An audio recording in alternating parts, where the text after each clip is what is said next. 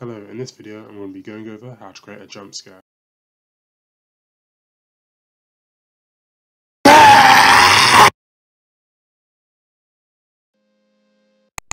Okay, so I've downloaded this um, zombie image and a zombie scream and I'm just going to be using this to create my jump scare.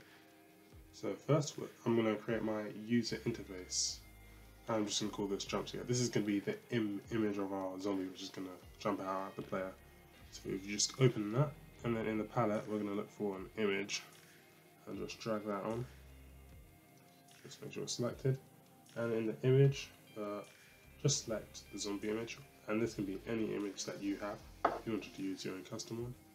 And then I'm just going to place that out correctly. And uh, in your anchor, I'm just going to make it sure the anchor's the whole page. So just compile and save that, and then we can close it.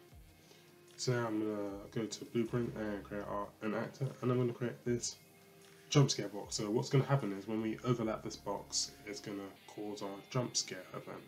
So we just need to create it. So add component, box collision, and you're just to make sure this is a nice size so that we can make sure that our player overlaps with it.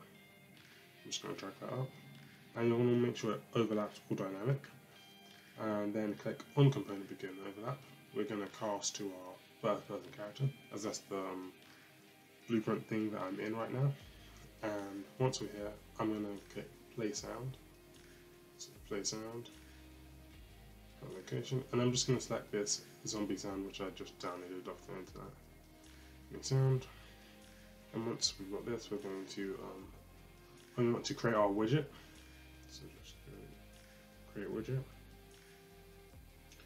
we're just going to select the jump scare widget that we just made, and then we're going to add it to our viewport so that our player can actually see it.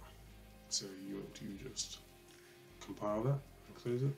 And we're going to go back into our, our, jump scare UI and event construct, so this is when it enters our viewport, we're going to put a delay of one second, so just change that to one, and we're going to drag off, and then we're going to remove from parent, so this just will remove it after we've spawned our jump scare. And now we just drag that on, and uh, if we uh, click play, and we walk forward, it will do our jump scare. And uh, that is all. Thank you for watching. Hope you enjoyed and like and subscribe if you found this content helpful. Bye.